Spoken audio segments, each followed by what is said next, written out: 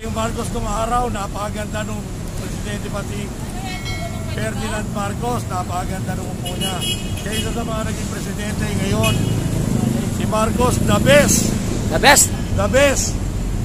Wala nang ano, wala nang tututol kahit sino. Basta si Marcos kami, Marcos kami, Marcos kailangan kailangan panalo. Kailangan manalo. Anong ma anong anong kaibahan ni Marcos kaysa ibang mga ano, ibang mga tumatakbo? Kaibahan ni Marcos, napakabait at matulungin sa taong bayan. Wala nang masasabi ang mga taong bayan, napakabait, Marcos. Alright. At ano po ang ano, ano po ang ano? Bakit bakit tatay ganun po kasulit?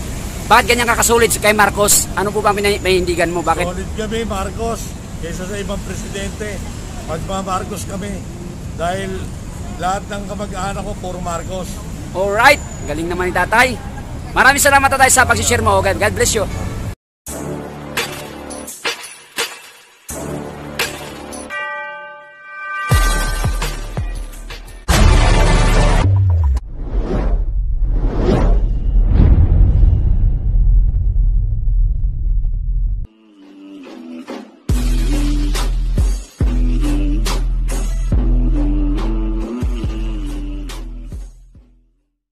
Isa po magandang umaga po sa inyong lahat. Nanay, ano po bang ma-share nyo po at ah, maibahagi nyo sa mga kabataan ngayon at mga bagong ah, mga kandidato bilang isang presidente, ano po ba ang naranasan nyo po sa mga Marcos administration noon.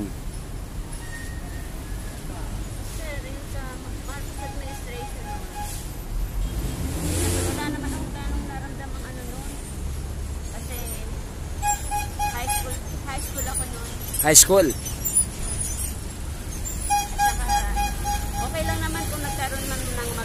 martial law. martial law. Yan ma, nai-regard din po sa martial law na. Ano ba yung martial law na? Maganda po ba yung martial law kung ibalik ngayon o ano may share mo sa martial law? Sir, kung siguro naman sir, hindi naman kailangan na ibalik yung martial law. Pero Oo. maganda rin naman ang naidulot noon nung panahon na yon. Dahil Eh, dahil siyempre medyo medyo na-control yung na-control ang masyadong pagiging ng mga tao. na-control. Yun ang maganda, na-control. Yun ang kagandaan sa martial law, ano? About naman kaya naman, about naman kay BBM ngayon, Bongbong Marcos, ano ang mai, mai-share mo sa kanya? Ah, basta para sa akin po, ah, saludo ako sa kanya. Saludo ka sa kanya. Alright. Ganun naman, bakit na ganun, ganun na lamang ka solid ang iyong pagsuporta sa kanila? Hindi kasi, hindi, hindi naman masyadong mano yung ibang kasama niya tumatakbo Oo. Parang ang tingin ko, mas okay siya na Okay siya. Alright, thank you Maya. ha. Good morning po, uh, Kuya Guard.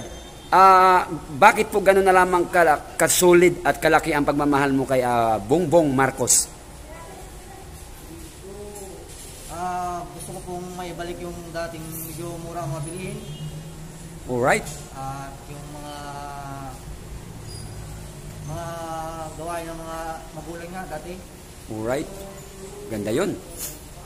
Ano po ba ang mga ginagawa ng kanyang magulang, ang ah, kanyang magulang ni BBM nung araw? Ah, marami niyang mga natulungang mga tao, Marami na tulungan mga tao. mga proyekto, mga gano'n. Eh ngayon po, si Bongbong Marcos po, ano sa palagay mo?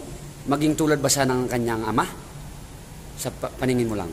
Malamang sir kasi father like son. Father like son. Okay. Maraming salamat po sa pag-share mo kuya ha. Sa maganda pong uh, mensahe po. Alright. Good morning po uh, Kuya Guard. Ah, bakit po gano'n na lamang kala- kasulid at kalaki ang pagmamahal mo kay ah, Bongbong Marcos?